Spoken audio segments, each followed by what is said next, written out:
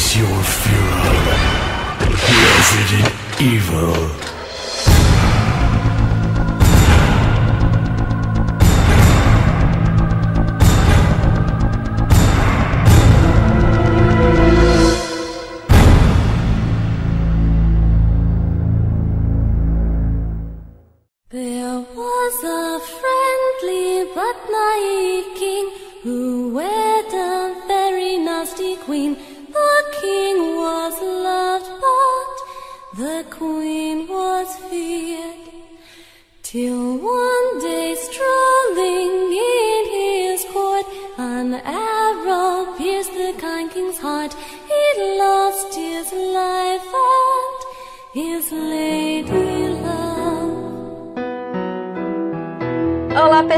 Sejam bem-vindos a mais um episódio do nosso podcast, o Face Your Fear, que é o podcast oficial do Resident Evil Database.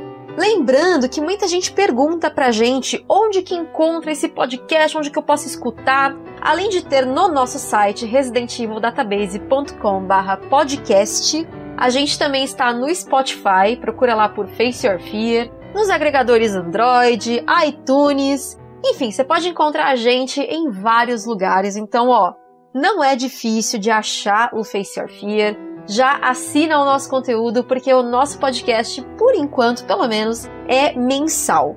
E a gente está no mês de dezembro, um mês que está muito intenso, como vocês podem perceber pelo nosso site, nosso canal. Mas a gente vai fazer uma pausa em todo esse caos de Resident Evil 3 Remake para falar de um jogo que tem tudo a ver com o mês de dezembro, que é Resident Evil Code Verônica.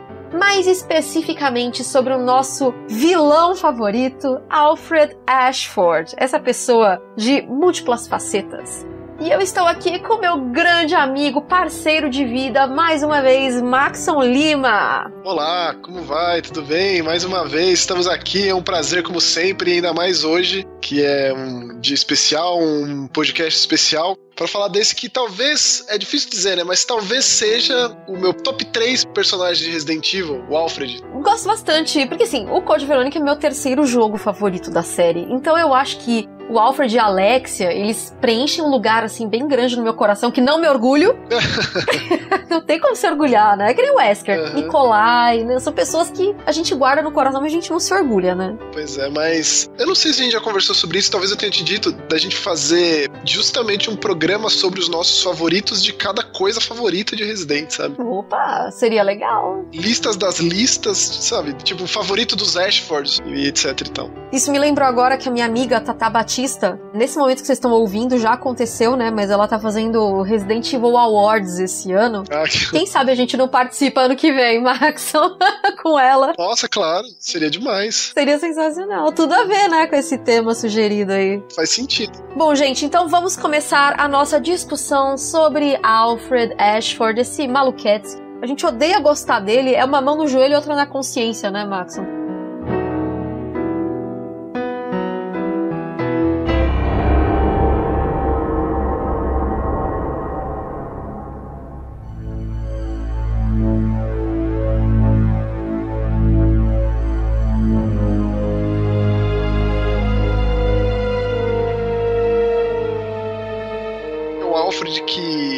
Tá conhecendo as origens da Umbrella, né? Da onde veio. E é sempre legal puxar da memória que até então, até o lançamento do Code Verônica, a gente não tinha tanta informação assim sobre o passado, as origens da Umbrella, né? Até porque ele veio antes do remake, veio antes do Resident Zero, etc e tal. Então ele foi o primeiro que expandiu a coisa toda e também foi o primeiro que saiu de Raccoon City. E o Alfred ele foi um personagem diferente. Eu lembro que eu tinha uns 14 anos por aí quando eu joguei o Code Verônica. E aí eu já era um fascinado, fanático por terror. Então eu lendo sobre, e aí é, era das coisas mais mencionadas sempre em revistas, Ação Games, Super Game Power da vida, Gamers, era justamente a conexão entre o Alfred e o Norman Bates, né, do Psicose. Então uma coisa vai levando a outra e você vai chegando em coisas como, por exemplo, não é uma leitura muito agradável para um mancebo de 14 anos chegar em um Ed Gein da vida, né, o sujeito lá, o exumador de cadáveres que não dá nem pra classificar como serial killer, afinal ele só matou duas pessoas, três, né, se for considerar que ele matou o próprio irmão, porque isso aí não foi confirmado, mas pode ser que seja.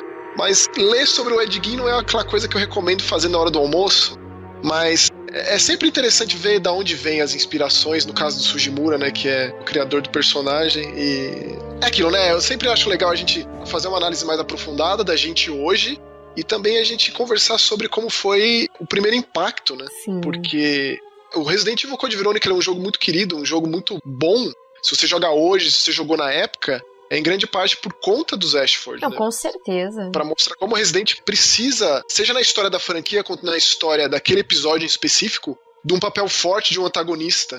Como isso é tão importante quanto o próprio herói, quanto o próprio personagem que a gente controla, né? Sim, e é o que a gente sempre vem falando, do quanto que tá faltando um bom antagonista em Resident Evil, desde a morte do Wesker. A gente não tá falando de boss, a gente tá falando de vilão mesmo. A mente doentia, a mente megalomaníaca por trás dos planos, né, e tudo mais, como a gente tinha Wesker, Spencer, Morgan Lansdale no Revelations, tem Alex Wesker no Revelations 2. Aí veio o 6 com ali com Simmons, Carla Radames, não dá pra engolir, assim. É, o Simmons talvez seja um dos mais fraquinhos, especialmente quando a gente pensa na importância dele, né? Tudo que ele significa, e ele segurar um jogo do tamanho do 6, assim. O 6 foi um, um fardo gigantesco para todo mundo, e o Simmons foi o que acabou carregando mais isso aí tudo. Eu acho que um dia a gente pode tomar um café, respirar e gravar um podcast sobre o Simmons e o que poderia ter sido. Saudades do que a gente não viveu com o Simmons, não é verdade? Não, não, eu acho que a, a, apesar de tudo, quando a gente faz um, um, podcast aqui aprofundado dos personagens, vai muito além da nossa opinião pessoal, né? Uhum. A gente pega tudo que a gente tem de informação e disseca ao máximo possível.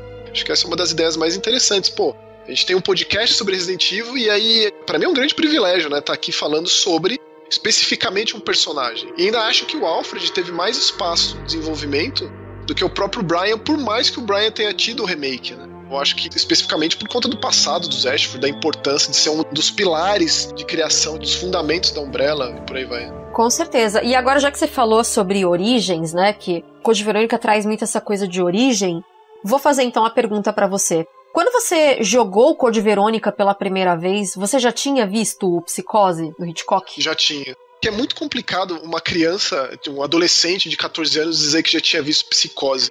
Essas coisas elas são assimiladas em degraus, né, em camadas assim. O que foi psicose para mim na época foi um impacto muito diferente do que foi para mim depois, estudando roteiro, estudando cinema, são coisas muito diferentes. Uhum. O lance para mim foi mais a curiosidade de eu chegar na biblioteca lá perto da minha casa e falar: então, tô com um papelzinho aqui, será que tem livros sobre esses temas aqui? E é claro que a moça deve ter me olhado torto e entregou os livros lá sobre esquizofrenia, especificamente patologia mental. E eu fui ler sobre isso, porque, sei lá, pelo menos para mim, Resident sempre instigou muito esse lado do cientista maluco, assim. E nesse caso do Code Verônica, parecia ser uma coisa mais próxima, no sentido de que não era um vírus, uma mutação biológica, uma monstruosidade impossível, coisas assim. Era uma doença que talvez eu já tivesse ouvido falar, é, ou sabe, uma coisa mais próxima que foi inserida ali na série que até então a gente não tinha nada parecido. Fora todo o lance da aristocracia, o lance de como ele se portava, o lance dele se chamar de Lord Ashford, conde da família Ashford, né, etc e tal. Então, foi um baque em todos os aspectos para quem acompanhava Resident Evil assiduamente quando apareceu o Code Verônica esse personagem, né? O jeito que ele se vestia, o jeito que ele falava, aqueles quadros, a própria mudança brutal de cenário que a gente sai daquela cidade, né, interiorana e vai por uma ilha no oceano. E aí tem aquele, tipo uma simulação de um castelo. Aquele, quando tem, aparece aquele vídeo dos irmãos maltratando a libélula, pô, eu acho que aquilo fica marcado para qualquer um. Sim. Jogue Resident Evil hoje ou na época, né? Não, com certeza. Mas assim, esse negócio que eu te perguntei do Hitchcock é porque eu também tinha assistido já o Psicose, então na hora que eu vi o negócio da peruca, né? Ele tava sem a peruca e ele se olha no espelho e tudo. Uhum. Eu, na hora, assim, tipo, isso é, é, realmente, que nem você falou, não é para qualquer criança ali, criança adolescente de 13, 14 anos de idade. E eu falei, nossa, isso é igualzinho Norman Bates. E, então,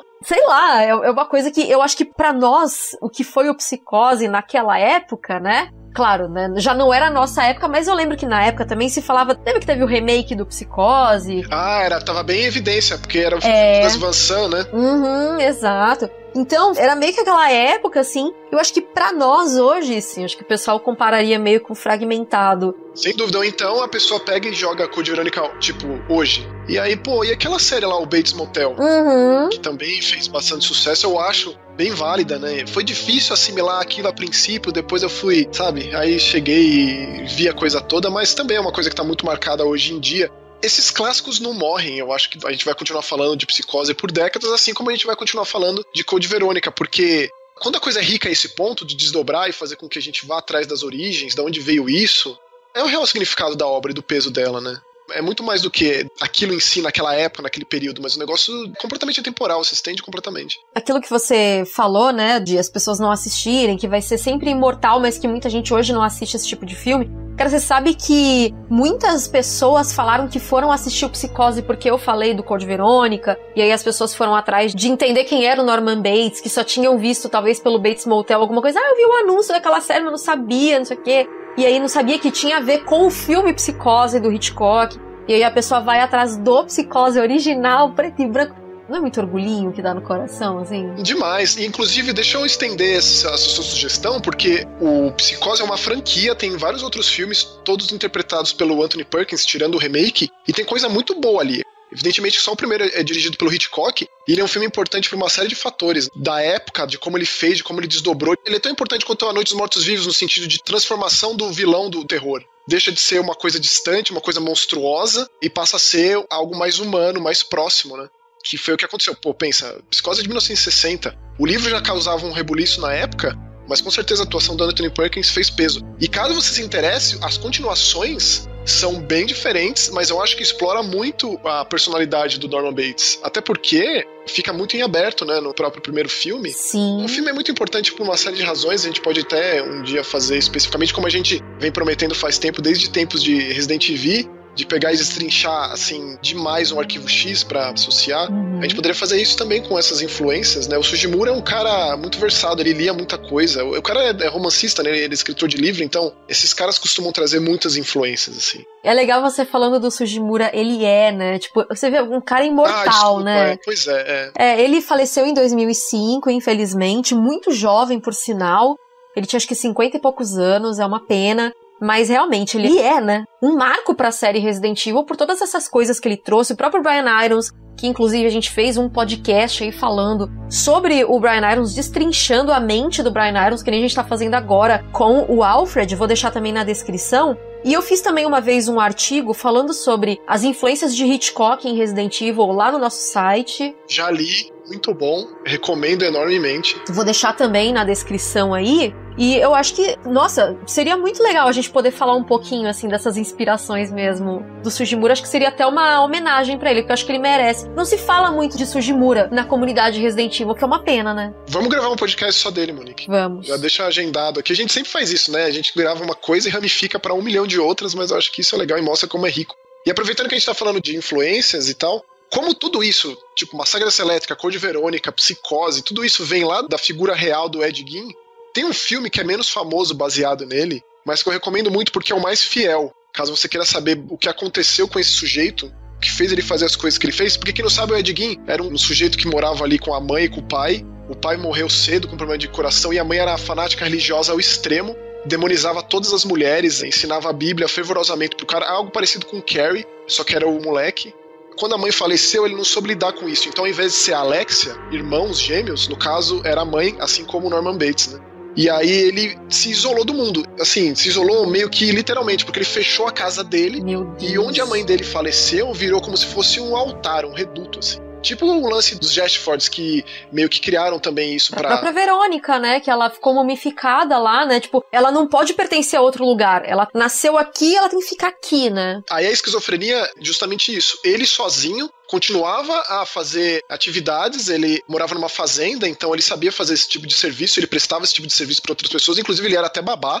Ele era uma pessoa reconhecida, não por ele ser uma pessoa especificamente normal, mas ele, tipo, assim, passa despercebido, faz nada para ninguém, quando tem que fazer alguma coisa ele faz, contrata um serviço de arrumar uma cerca, de carpir um lote, ele fazia. Só que aí desapareceu a moça lá da vendinha do bairro, e o último que foi na loja foi o Edguinho. Aí chega na casa do cara e encontra o que encontra. Que aí o massacre da Elétrica é mais próximo nesse sentido, né? Que ele exumava cadáveres, e aí ele conta nos relatos dele, inclusive tem livros sobre isso e como a gente vive muito essa ebulição de serial killer, né? Com a Netflix fazendo um monte de documentário, teve aquele lá do Ted Bundy muito interessante. Muito provavelmente a gente vai ver um do Ed Gein em tempo. Só que como ele é mais antigo, né? Dos anos 40, não tem tanta imagem assim.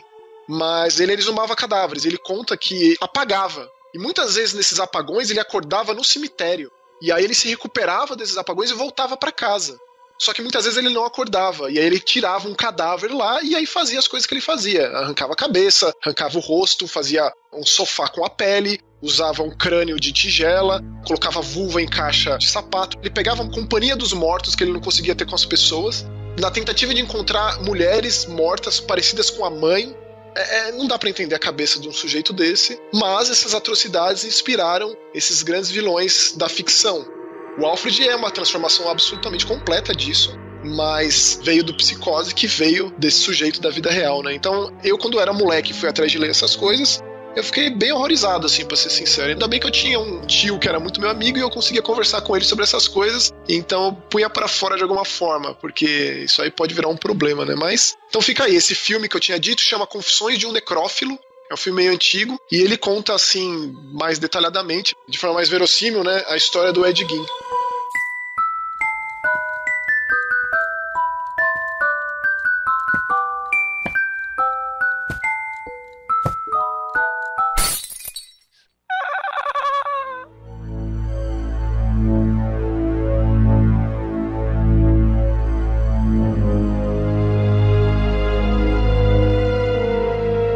Tava pensando aqui como que a gente poderia definir, né, a história do, do Alfred, porque assim, o Alfred a gente não sabe se ele já nasceu com distúrbios mentais ou se ele foi adquirindo esses distúrbios conforme ele foi crescendo, porque ele e a Alexia foram bebês fertilizados. De proveta, né? Bebê de barriga de aluguel, assim, bebê de proveta, exatamente. Eles não tiveram mãe real, né? Exato, porque o nascimento deles tinha um propósito na verdade, era o nascimento da Alexia. O Alfred, ele ainda veio, né, de tabela, assim. Então, por isso que ele tinha essa coisa de servidão pela irmã. Indesejado, é. É, ele não era desejado. Ele veio, né, a rapa do tacho. Porque, porque a família Ashford tinha um passado de filhos gêmeos na linhagem da família. E aí, quando o Alexander resolveu criar uma nova Verônica, porque ele era uma pessoa extremamente sem condição nenhuma de ser o líder que a família Ashford merecia, ainda mais depois do Edward, né, que era o pai dele, um dos fundadores da Umbrella, pesava muito esse fardo. Ele resolveu, vou criar uma nova Verônica e aí ela vai fazer o que eu não fiz, que é trazer a glória de novo para a família. Então, quando ele criou o projeto, o codinome Verônica, o Alfred ele veio por tabela. Então, imagina que quando ele descobre toda a verdade, sobre o nascimento dele, e ele até descreve no diário dele aqui, e pensa que isso é escrito por uma criança de mais ou menos 10, 11 anos de idade, ele escreve o seguinte: Em 17 de fevereiro, nunca podia imaginar que um segredo tão insano existisse em relação ao meu nascimento e de Alexia. Odeio meu pai, aquele idiota Alexander. Agora é óbvio que fomos simplesmente criados numa tentativa de cobrir o erro estúpido do meu pai. Nunca poderei confiar nele de novo. Devo recuperar a glória da família Ashford com minha irmã. Não tenho nada a temer enquanto Alexia estiver comigo. E assim, eles usaram o próprio pai de cobaia, a gente nunca pode esquecer disso. Então eu acho assim, além deles serem crianças extremamente mimadas, provavelmente não tinham muito amor, era aquela coisa, vocês são produtos. E aí o Alexander, quando ele descobre que na verdade não era para ele nascer, era só para Alexia, né, a Verônica, que o Alexander tanto queria, né, a Verônica 2.0. Uma recriação, exatamente. Aí que vem o lance mumificado que a gente tinha comentado, daí que ele tirou o DNA da Verônica para poder recriar a coisa toda, né? Sim, e agora você imagina, porque eles eram meio que criados lá naquela base da Antártida, né, onde tinha aquela réplica da mansão Spencer e tudo que o Alexander construiu. Então já era um lugar inóspito, né, para duas crianças viverem com um pai que depois elas descobrem que era um pai extremamente fracassado. Já começa a coisa a ficar complicada e dá para associar um pouco até com a febre da cabana, né, que é um distúrbio psicológico, é uma doença que não é necessariamente documentada, mas que existe, né? Sem dúvida. Eu gosto de pensar que, por conta dessa frustração com o pai, dessa descoberta e desse ódio que passou a existir, ele se apegou ainda mais à irmã. Porque seria natural, se a gente pega na história dos dois e de como ela era muito mais favorecida o tempo inteiro, que ele tivesse essa raiva dela. Porque ela é escolhida, ela é a inteligente, ela é a prodígio e eu sou o resto. Eu só sou um pouquinho acima da média. E ela é, tipo, todas as glórias, todos os louros. Mas da descoberta da origem, quando souberam, aí ele se aproximou ainda mais. Aí veio esse lance da admiração, de realmente da adoração que o Alfred passou a ter. Tanto que quando ela resolveu se fazer experimento, Alexia, que é aí que quando ele começou a, a ficar doente de verdade. Então, é claro, inseminação artificial, criação de laboratório, já é difícil falar da coisa natural por si só. Quando é inseminação, aí vai ficando mais complicado ainda. Será que eles nasceram com uma tendência? Será que a criação, nesse primeiro momento, até nessa fase da infância, depois de 6, 7, 10 anos, eles foram realmente muito isolados, eles foram realmente tratados sem amor paterno, já não tinha mãe mesmo, né? Mas e o pai era um cientista doido e em queda, né? É muita coisa para carregar assim. Então, entender o porquê de ser deles dois, porque eles eram psicopatas, porque eles eram frios e calculistas, eles só amavam a si mesmos. Porque se eles fossem mesmo sociopatas, psicóticos, eles não teriam sequer o amor um pelo outro, sabe? É um caso bem isolado aí. E mais ainda pro coitado do Alfred, ficou sozinho carregando a coisa toda. É aquele clássico caso de, na monarquia, quando não tem mais ninguém, assume a criança, né, o trono e tal. Foi o que aconteceu com ele. Então ele se colocou numa posição de poder muito cedo, sem o pai e sem a irmã. E aí a condição mental dele foi deteriorando cada vez mais e mais e mais, até que a gente acompanha o que aconteceu quando a Claire chega lá em Rockfort Island. Né? E assim, eu acho que o Alfred e a Alexa têm sim traços de psicopatia, justamente por causa da cena da libélula. E repare que a cena é assim, ó. O Alfred tirando as asas da libélula, jogando dentro do formigueiro, enquanto a Alexa observa. Ela só se aproxima quando ela vê que o Alfred já cumpriu o papel dele. Você acha que ela mandou ele fazer aquilo? Eu acho que sim. Eu acho que a Alexia, muito em partes, ela foi também a grande causadora de todos os distúrbios do Alfred, assim. Você acha que ela tratava ele? Não, na verdade não é maltratar, mas é, colocava ele como subalterno mesmo, como capacho dela. Ele era total capacho dela, tanto que tem até uma carta de confissão que ele escreve, né, sobre a Alexia, que ele diz assim: Alexia, minha irmã, é um gênio e possui incomparável beleza. Ela é tudo para mim. Eu enfrentaria qualquer obstáculo e estaria disposto a arriscar minha vida pela dela. Por Alexia, eu devo restaurar a gloriosa família Ashford que decaiu durante a era de meu pai Alexander. E depois ele conclui assim: Todas as outras pessoas são insignificantes e devem se prostrar aos pés de Alexia e aos meus. Então o Alfred, não sei se ele odiava a irmã, né, de ela receber todos os louros, mas de uma coisa é certa, talvez tivesse mesmo esse desequilíbrio dele de tentar entender esse sentimento que ele tinha por ela. Eu não sei se ele também pegou de todas as outras pessoas essa coisa de ficar todo mundo babando em cima da Alexia, ou então se ele transformou esse ódio nessa admiração exacerbada, ou se ele sempre realmente foi a, a rapa do tacho de fazer tudo que ela mandava. Eu acho que é a terceira opção. Seja como for, assim, a resposta disso, olha só todo o debate que levanta, sabe? como ele é apresentado no jogo, como a gente vê essa cena da libélula que é extremamente marcante. Depois as transformações, né? Ele fazendo as diferentes vozes, ele lidando com a Claire, porque ele conclui que a Claire é responsável pelo ataque, né? Quando ela acaba de chegar lá, que a ilha começa a ser atacada pelo Wesker e as forças dele, ele conclui que a, Claire tem algum envolvimento nisso e começa a fazer uso das artimanhas que ele tem lá transformar a coisa em um playground sádico. Inclusive, uma das coisas que mostra o quanto que o Alfred ele é doente mas que talvez ele não colocasse muito a mão na massa, digamos assim, é todo o apoio que ele dava para aquele médico muito louco lá. Que fazia os experimentos, tem aquela câmara de tortura e que é meio que um subchefe ali. Assim que a gente sai da câmara de tortura, que ele tá dentro daquele saco, pra mim uma das melhores cenas do jogo é essa. Que a gente pega o olho e a gente coloca toda aquela artimanha daquele esconderijo e tal. E o Alfred confiava nesse cara, dava para ele as pessoas. Porque aquela ilha é um campo de concentração, já é uma coisa horrorosa por si só. E ainda tinha esse cientista que era tipo um Mengele da vida, fazendo atrocidades ali com os prisioneiros que, por certo, iam morrer. E tinha a carta branca do Alfred. Do tipo, eu sei o que você tá fazendo e vou deixar você continuar fazendo. Tanto que até esse médico tinha medo dele. É uma coisa muito louca, assim, se a gente parar pra pensar, né? O tanto que a gente pode aprofundar na insanidade desse personagem. Ainda bem que você lembrou desse médico, porque assim, se você for parar para pegar o file do médico mesmo, ele fala que tem um demônio dentro da mente dele. Isso. Ele não sabe, ele não consegue se controlar, né? Eu acho até que talvez ele tenha aprendido com o próprio Alfred. Quando o Alfred começou, não, faz tal coisa, e ele, não, não vou fazer, não faz, tô mandando. Talvez ele tenha pego gosto pela coisa E quando você desce, que você coloca o olho, né, dentro daquele esqueleto, né? Quando você desce a escada e você entra naquela sala secreta, além de todos os instrumentos de tortura, tem uma poltrona, que era onde o Alfred ficava sentado, assistindo as pessoas serem torturadas pelo médico. Provavelmente, devia ser um show de horrores aquilo. E é legal que isso fica na imaginação. Claro, a imagem já é forte o suficiente, mas a gente vai ali, mata aqueles zumbis e investiga aquilo com aquela música maravilhosa. Code Verônica é um jogo 10 de 10, né? Tudo isso começa a confabular, a gente começa a pensar nas possibilidades, né? O que, que o Alfred vinha fazer aqui? Por que, que isso existe aqui? E já é um contraste gigantesco do aspecto mais sujo,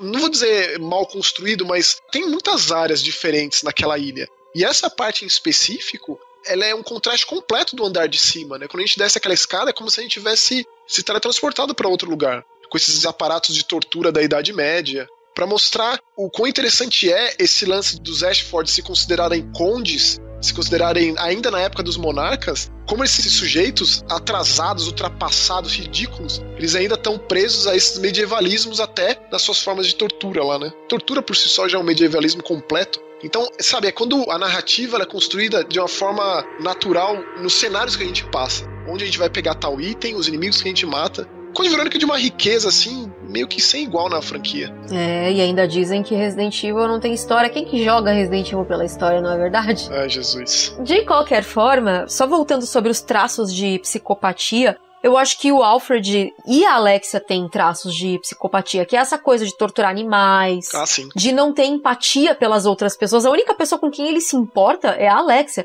Eles usaram o próprio pai pro experimento deles. É que me faz pensar que eu, eu acho que mesmo antes de descobrirem que eles não eram necessariamente filhos dele, assim, numa concepção natural, a gente não tem relato de como era, né, a relação deles. A gente só sabe a partir do momento que ele dá descoberta. É um negócio meio Sephiroth, assim, quando ele descobre o que ele é, aí se torna uma revolta completa. E aí o pai, ele não, não é um pai, é um experimento mesmo. E aí que os irmãos se uniram ainda mais. Depois, quando o Alfred se viu sozinho, por conta de uma promessa que ele fez para si mesmo, que na verdade foi para a própria Alexia, de retomar a glória, né? Então o ódio ele veio assim, uma tsunami de ódio. Sim. Meio que deu motivação para ele continuar sem a irmã, né? Sem o pai, sem ninguém. Um cara sozinho com muito poder. Isso é extremamente perigoso. Sim, a única pessoa que ele tinha e que não podia fazer nada era o mordomo, que não tinha poder algum, só ficava ali observando tudo acontecendo. Tanto que a Alexia forjou a sua morte. E depois que o mordomo se demitiu, ou sei lá, se o próprio Alfred não matou, aí que começou essa loucura dele ter criado a sua própria Alexia, ele ficar passando na janela do palácio. A Tânia, né? É, é legal essa história. Sim. Antes da gente entrar na história da Tânia, a gente pode então fazer um apanhadão de causas, né? Que levaram o Alfred à loucura. Acho que primeiro o isolamento. Ah, sim. Imagina uma criança crescer numa base na Antártida. Exato. Um ambiente de laboratório, um ambiente frio, um ambiente controlado ao extremo, sem contato humano, sem contato paterno, materno, sem nada. Exato. Eles serem, né, crianças que tiveram que crescer muito rápido, porque Alex era um prodígio.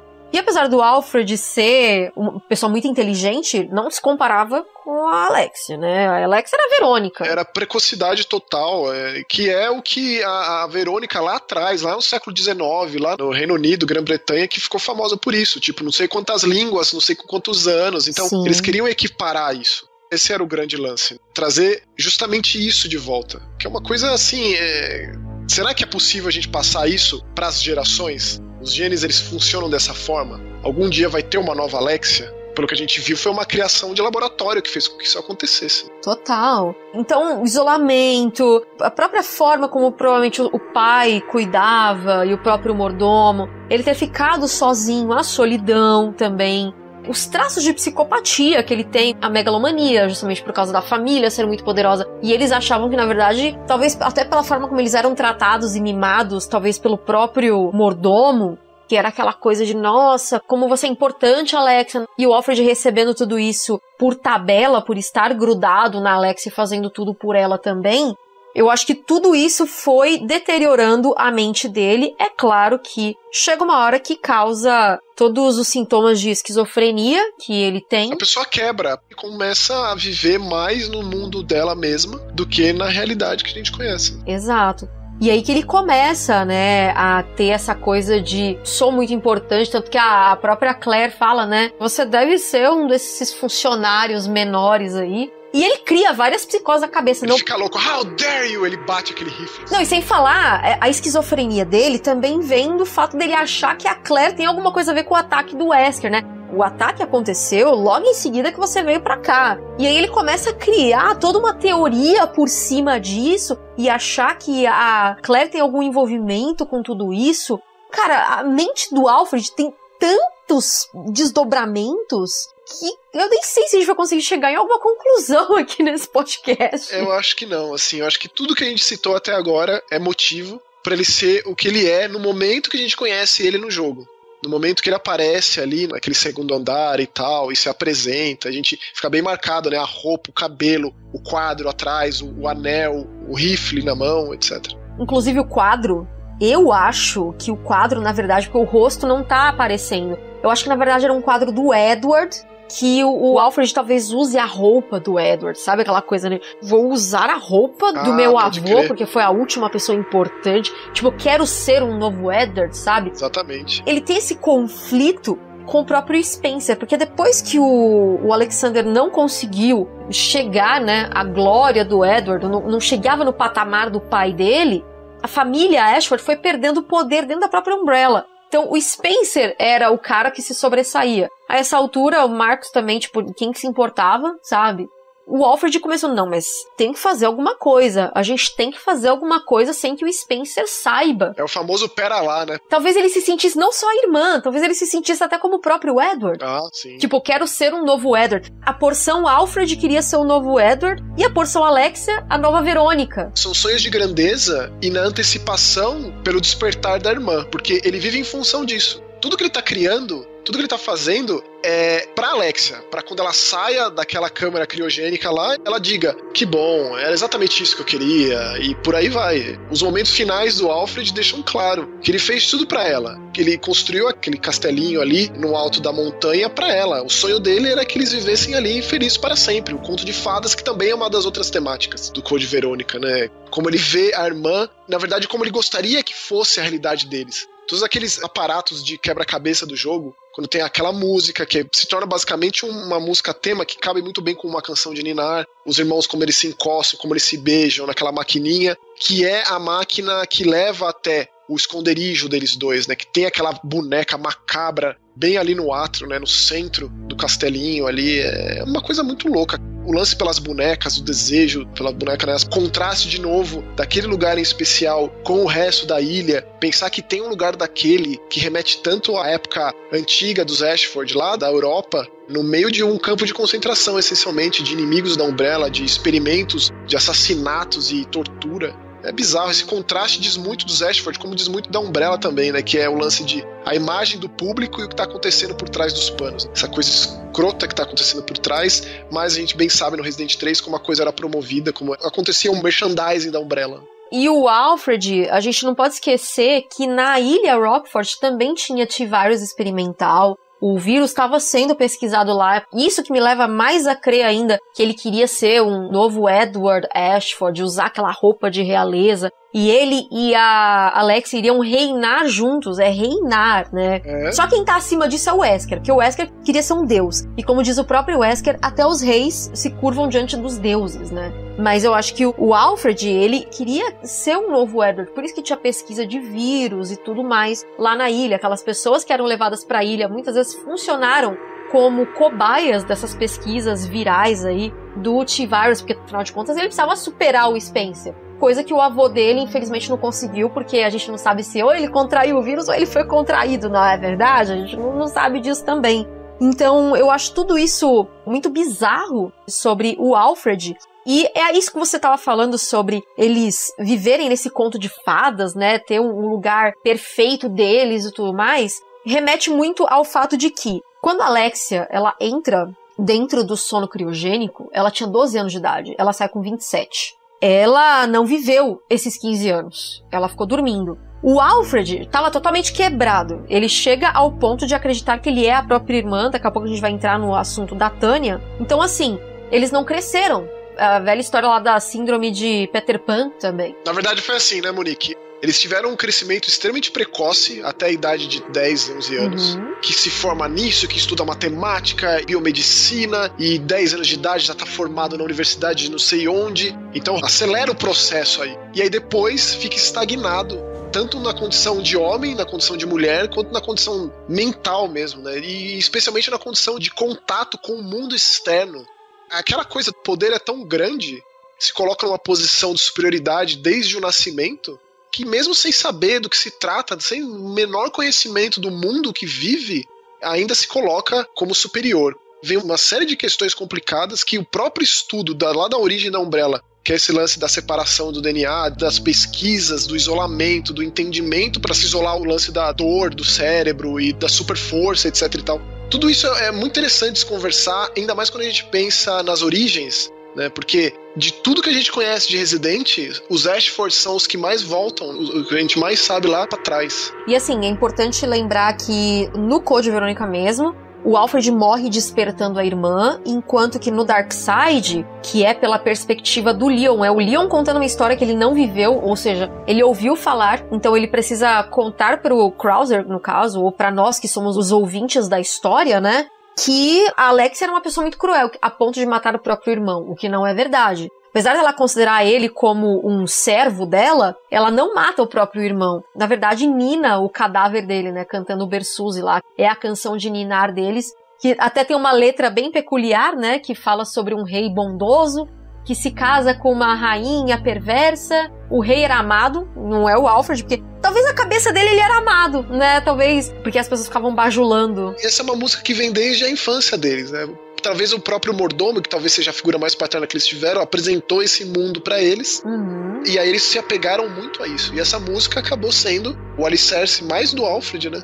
Porque ele teve que crescer no mundo, ao contrário da Alexia. Exato. E assim, é sempre importante destacar que por ele ter essa obsessão pela Alexia, não quer dizer que rolava uma relação incestuosa entre eles, porque é isso que as pessoas se confundem. Tem duas coisas que causam muita discussão na comunidade hoje ainda, sendo que daqui a pouco o Code Verônica vai vincar. Ele faz aniversário em fevereiro de 2020 agora. Então, 20 anos ainda existe essa discussão. Primeiro, rolava incesto entre ele e Alex? Ele era apaixonado pela irmã? Eu não acredito. Eu acho que ele era o servo dela. Eu não acho que ele tinha uma relação de amor como mulher por ela. Ela era rainha. Eu acho que é algo que a gente sempre comenta, né, Monique? A gente sempre tem que tentar diferenciar o nosso mundo do mundo de Resident Evil. A realidade de Resident Evil é diferente dessa nossa. Lá existem coisas que não existem aqui. Esse é um ponto que a gente sempre debate, especialmente com relação a, ah, e a Ashley, como é tonta, etc e tal. E outra é justamente essa. Quando a gente tenta imaginar, precisa de estudo para tentar entender como que é esses dois seres crescendo, nas condições que eles cresceram. E eles eram os únicos amigos uns dos outros ali. Por mais que a Alexia trate ele assim, a gente sabe que é assim que ela tratava, eles eram as únicas companhias uns dos outros. E aí, quando aconteceu a coisa toda, quando eles descobriram o lance do Alexander e ela se isolou na câmara, ela se colocou lá como experimento, não rolou um amadurecimento comum. Não é o crescimento de um adolescente que vai pro colégio e tem amigos ou não, que sofre bullying ou não. É totalmente distinto. Então você diminuir isso a ponto de pensar que esse relacionamento é simplesmente sexual, eu acho que é muito pequeno. Eu acho que dá para desenvolver muito mais esse debate. Claro que é um debate, a gente não tem a palavra de alguém dizendo, como foi, ah, esse aqui é o Chris do Resident 7. Uhum. Acabou com todo o debate, veio a Capcom e disse o que é. Enquanto isso não existe, todas as possibilidades são possíveis. Mas é sempre muito bom a gente deixar em aberto o leque de possibilidades, deixar em aberto a discussão. Então dá pra ir um pouco mais fundo do que simplesmente assumir o incesto aí no caso, eu acho. Eu acho que talvez até futuramente rolasse, porque tem até um file da Alexia falando que os seus descendentes que vão espalhar, né, o Verônica pelo mundo e aí ela vai ser a rainha. Mas ainda acho que vai ser de laboratório, vai Exato, ser, ó, bota exato. esperma aqui, aqui tá meu ovário, a gente faz aqui e acabou. Não tem esse contato, que também é uma coisa muito de sociopatia, de psicopatia, de desejo ser uma coisa além do humano, é simplesmente a satisfação que no caso dessas duas pessoas, Uhum. não é uma satisfação carnal, mas sim uma satisfação de controle, de total poder, de total submissão das outras pessoas. Então, é, é, ter uma relação sexual aí nesse caso, é, sequer passa pela cabeça com duas crianças que cresceram nesse mundo de experimentos genéticos, de experimentos de laboratórios de aberrações, etc. e tal. É muito mundano para seres tão superiores como eles. Isso. E é uma coisa que eu sempre me perguntei sobre o próprio Wesker, assim, sabe? O fato dele ter um filho. Eu nunca imaginava o Wesker com um filho. Porque eu sempre imaginei que um cara que se vê como um deus, tudo bem que isso foi uma construção do ambiente em que ele tava, mas eu sempre imaginei que isso fosse pequeno demais para um ser tão superior como ele. Mas é claro, isso foi crescendo ao longo do tempo. Já no caso da Alexia e do Alfred, eu não acredito que haja, sabe, essa sexualidade maturada neles, até porque é ainda aquela coisa meio Norman Bates, quando até eles entram no quarto, né, do Norman Bates e tá tudo coisa de criancinha no filme do Psicose, né? Mas é bem evidente, né, Monique? Olha as bonecas ali no lugar mais íntimo do Alfred, que ninguém devia entrar naqueles cômodos ali. E tudo bonitinho, tudo arrumadinho. Esse apego ao mundo infantil. É, você mesma disse, esse lance do Peter Pan, da síndrome, é muito real pro Alfred. Extremamente. Mas eu acho que, de qualquer forma, ainda é uma opinião já que a gente não tem assim, né, o decreto. Ah, então rolou isso, aconteceu isso, e tal. Mas eu acho que dá sempre para aprofundar um pouco mais o debate, sendo que a gente tem um pano de fundo tão rico. Para mim são dois dos personagens mais ricos de toda a franquia, são Alfred e Alexia, os Ashford de forma geral, mas são os pontos de vista. Com certeza, ó. Bom, a gente tá há 40 minutos discutindo a mente do Alfred Ashford. Eu acho que se isso não é o quanto um personagem é rico, não tem nem o que falar, né? A gente É. tá aqui destrinchando a mente dele. E a outra questão que as pessoas debatem até hoje é sobre a sexualidade do Alfred e que a gente também vai falar agora. Quem é a Tânia? Hold it right there. We meet each other at last. A pity I must say goodbye so soon. Tânia,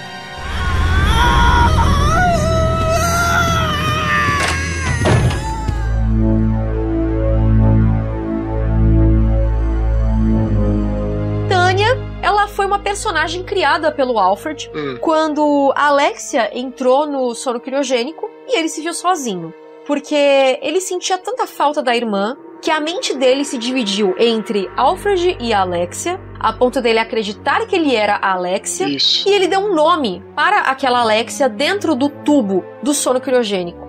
E o nome dado a ela, Tânia. Por isso que ele dá os parabéns a essa garota e ele diz que ela faz 13 anos há, tipo, 10 anos. Feliz décimo aniversário de 13 anos. É para mostrar como é um sujeito que a sexualidade nunca foi uma questão. Exato. Se ele é homossexual, se ele é heterossexual, ele não tem esse tipo de desejo, ele não se desenvolveu a esse ponto, porque, de novo, não nasceu em condições normais, não viveu em condições normais, teve um crescimento absolutamente específico que coloca ele nessa situação. E a gente tem informações suficientes para não sequer pensar nisso. Então, assim, é todo esse mundo que cria. Criou essa Tânia porque ele sabia que ele precisava manter aquilo, cuidar daquilo, porque sairia dali algo de muito importante, mas a realidade dele, do que ele vivia no dia a dia, nesses 15 anos que ele esperou a Tânia, digamos, sair daquele tubo, era dessa transformação que para ele não existia. Para ele existiam aqueles dois quartos para as pessoas verem, e ele vivia duas realidades distintas, mas na cabeça dele era uma coisa só. Então o processo de transformação na mente do esquizofrênico não existe. A gente vendo de fora é uma coisa totalmente diferente. Só puxando uma outra referência, uma coisa muito atual, quem assiste Mr. Robot é uma das questões da série. Existe a persona do pai projetada pelo personagem. E como o roteiro constrói isso, né? Como desenvolve o fato de serem duas pessoas diferentes, de serem duas personalidades diferentes. E aí vem a riqueza de quem escreve, de quem faz a obra de ficção. Como representar diferentes personalidades? Como isso vai estar no roteiro? No caso do Code Verônica, ele simplesmente se travestia como se fosse ela. Então, assim, a surpresa de quem joga é tanto quanto a do Steve, quando conclui que é a mesma pessoa. Porque até então, por mais que a gente tivesse essa base, eram duas pessoas. Dava a entender que né, eram dois irmãos, eram os gêmeos, até porque a gente tinha lá aquele vídeo que deixava claro que eram duas pessoas mesmo. Então, só quando vem o choque lá da revelação que a gente tem a certeza de que não. Mas na cabeça do Alfred não existe isso. Até quando ele começa a misturar, ele começa a agir como Alexia com a roupa do Alfred. A gente é levado a acreditar que a Alexia morreu e Isso. que o Alfred ficou meio pirado depois disso e que por isso que ele se veste da irmã, que é uma coisa que acontece no psicose. E o próprio Norman falando com a voz da mãe, e aí depois ele fala com a voz de Norman. E também tem o lado da esquizofrenia, que a esquizofrenia ela causa delírios na pessoa.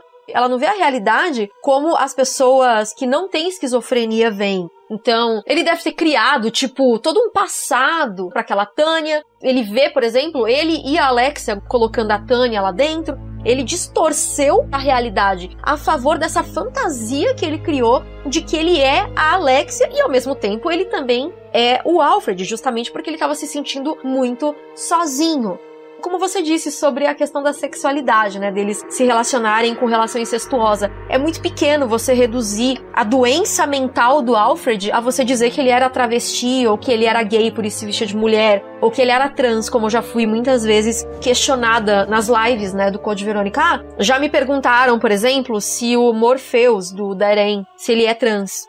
Não necessariamente, porque o vírus reflete a mente do seu hospedeiro. E o Morpheus, ele tinha uma obsessão, ele tinha um narcisismo, uma obsessão pela beleza. Então, quando ele se transforma naquele Tyrant andrógeno, é porque, na verdade, ele vê a perspectiva de beleza dele é na imagem de uma mulher. Eu acho que é muito mais nesse sentido do que o fato dele ser gay. E não como se tivesse algum tipo de problema, caso fosse. Você reduzir a uma sexualidade, não, ele é gay, ou ele é Aham. bissexual, por isso que ele se veste como a irmã e como ele. Eu acho que a gente tem mais o que desenrolar, o que desenvolver do que simplesmente isso. Isso a gente tem poucas informações, então a gente se apega mais ao que a gente tem pra debater. Que aí é tudo isso que a gente tá falando aqui, né, até então. Mas é porque eu, eu não vejo assim. Eu acho que é muito pequeno você reduzir a mente do Alfred à, à sexualidade. Eu acho até que eles eram seres assexuais, assim. Porque isso é muito pequeno pra reis. É aquela coisa meio Targaryen, assim, sabe? A nossa linhagem é a única que presta. A nossa linhagem é a única que vai se sobressair. Isso aí vem do conceito de monarquia por si só. Como o Resident Evil não lida com o aspecto religioso da coisa, o escolhido de Deus fica de lado. Vem o lance da raça, né? Da superioridade aí da espécie, do que se pode ser analisado no microscópio. Como nunca foi uma questão religiosa, se a gente analisa a monarquia lá de trás dos Ashford, fica os avanços assim de estudo tecnológicos, digamos, que trouxe as capacidades da Verônica. Exato. A Verônica, ela era prodígio de nascença. Ela foi passando o gene dela. A hora que chegou, talvez no Alexander tivesse muito fraco. Então ele precisava criar a nova Verônica. Mas só pra encerrar esse assunto de sexualidade, eu não acredito que o Alfred fosse gay. Também não acredito que ele fosse apaixonado pela própria irmã como coisa sexual. Então eu acho que eles são uma coisa à parte. Tanto o Alfred quanto a Alexia. Até porque eu acho que a sexualidade deles nem maturou. Tinham coisas muito mais importantes pra se preocupar. É isso, a realidade deles é excepcional ao ponto de ser difícil comparar com alguma coisa, alguma existência nossa, com alguma vivência nossa, qualquer coisa que a gente viva, do nosso mundo. Isso é uma coisa sempre muito importante de lidar, não dá pra colocar lado a lado o mundo de Resident Evil e o nosso.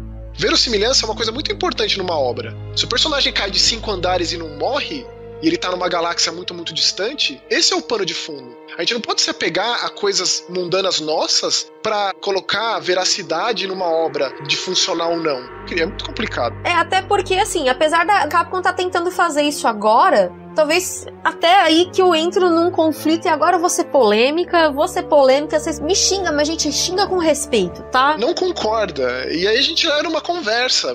Tudo é debatido. Essa é a parte mais legal da coisa. É. É só legal quando a gente concorda com tudo? Só assim que funciona quando a gente dá as mãos? É muito mais interessante quando uma pessoa traz uma opinião diferente da nossa e a gente enriquece ainda mais o que a gente pensa das coisas. Exato. Consigo entender qual é que é. Então, é por esta razão, desse aprofundamento e essa proximidade com a nossa realidade, porque o mundo de Resident Evil é um mundo à parte, é um mundo em que uma Umbrella consegue criar Tyrant, sabe? Consegue criar um Nemesis. A nossa realidade não tem nada a ver com isso. Pois é. Na realidade de Resident Evil, como a gente já gravou um podcast aqui falando sobre qual é a verossimilhança do mundo real com o mundo de Resident Evil na parte biológica, a criogenia aqui ainda não dá pra fazer isso de colocar uma pessoa em 15 anos numa criogenia. No mundo de Resident Evil dá. E é esse medo que eu tenho de um remake do Code Verônica nesses moldes de ultra realismo e deles tentarem aproximar da realidade, por exemplo, um boss, um vilão, um monstro. Então eu gostaria que eles parassem no 3, tá bom, tá legal. É, mas você sabe que como a Capcom tá batendo muito nessa tecla de o fim do arco de Raccoon City,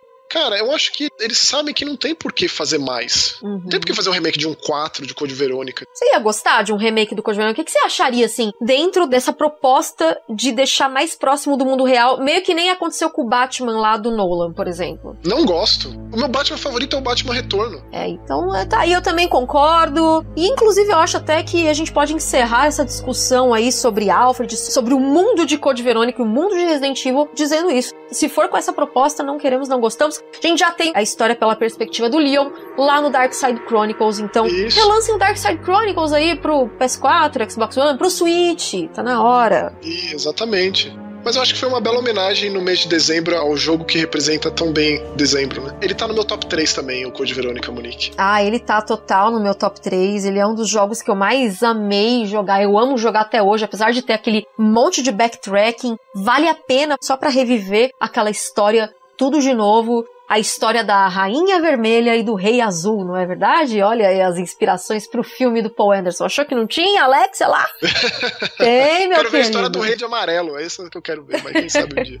Max, você tem mais alguma coisa a somar a essa conversa sobre o Alfred? Ah, eu acho que se alguém quiser debater qualquer um dos pontos que a gente levantou aqui, vou ficar muito feliz de ir lá nos comentários no YouTube ou qualquer outro lugar, ou alguém queira vir conversar sobre o Alfred, sobre o Code Verônica no Twitter. Eu sempre gosto muito de conversar sobre Resident Evil. Não é algo que eu tenho muita oportunidade na minha vida, que pra mim é uma tristeza, então eu vejo esses podcasts sempre como uma alegria sem tamanho pra mim, porque eu aprendo muito quando eu converso com você de Resident, posso expor minha opinião e eu gosto muito de contar como foi pra mim quando eu joguei pela primeira vez, que é aquela experiência sua que só você tem, que cada um pode trazer tanta coisa legal pro debate, né? E de novo, a gente aqui fomentar essa riqueza de possibilidades da história tem as coisas que não estão decretadas. É isso ou não é isso? Que a gente pode debater. Eu acho que isso é a riqueza do negócio. E eu acho que tem coisas que é melhor não explicar também. Eu acho que é legal ficar subentendido, sabe? Ah, sim, mas esse é o problema de uma série tão longeva quanto o Resident, né? Ou você cria histórias novas, ou você fica esmiuçando aquilo até o desgaste completo.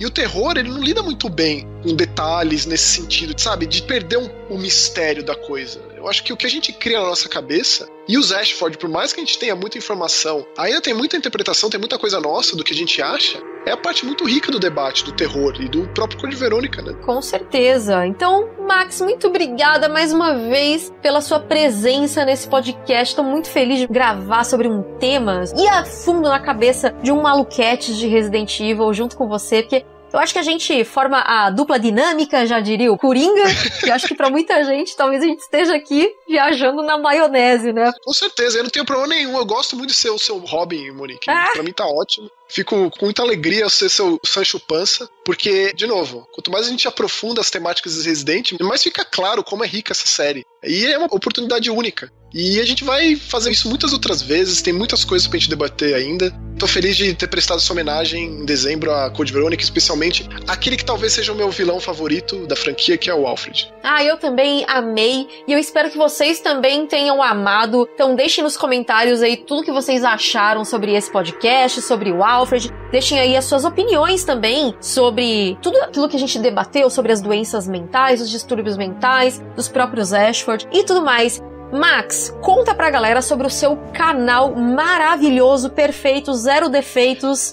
O, o, o Max é o rei do terror, então conta pra galera aí do seu canal, Max. youtube.com/barra mas que horror. Vídeos todas as terças e quintas com o mundo do terror de todas as formas, mídias, vertentes, literatura, quadrinhos, mais filmes, séries e jogos, né? Eu tento levar lá no canal muito jogo independente, filme independente. Então fica o convite para conhecer, caso não conheça. Tem bastante conteúdo lá. E eu gosto muito, muito de conversar sobre os temas dos vídeos lá no YouTube, né? Então fiquem aberto o convite. Obrigado mais uma vez. Monique, sempre um prazer participar do Face Your Fear. Muito obrigada, Max. Gente, lembrando que o nosso podcast ele existe graças a vocês, graças ao apoio de vocês, ou no padrim.com.br barra Resident Evil Database, ou sendo membro do nosso canal do YouTube por apenas três reais. Três? Já diria Ana Furtado, três. Então nos apoiem aí. Quem sabe a gente não consegue, se a gente tiver bastante apoio, bastante membro, bastante padrinho, fazer dois podcasts por mês. Já pensou, Max? Seria incrível. Seria, de verdade. Olha aí, gente. Aí eu posso contratar o Maxon pra gente poder gravar um podcast a mais aí por mês, que a gente tem que pagar o Gil também, que é o nosso editor ator. Olha só, só gente maravilhosa envolvida. É, fazer que nem o, o Tropa de Elite, gente. Quem quer rir tem que fazer rir, não é verdade?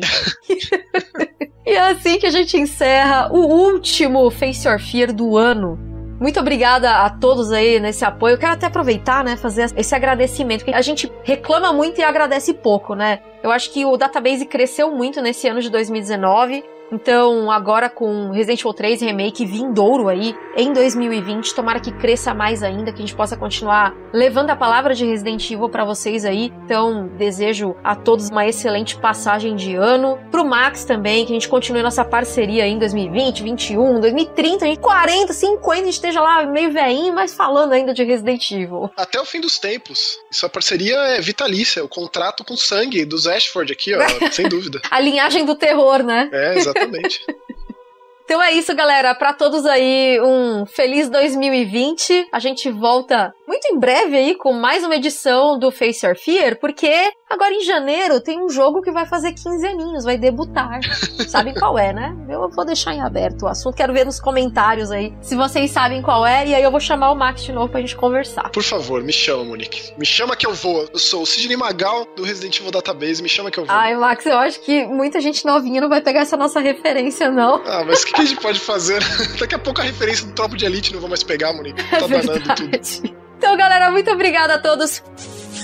Um beijo, até o próximo podcast e tchau! Tchau!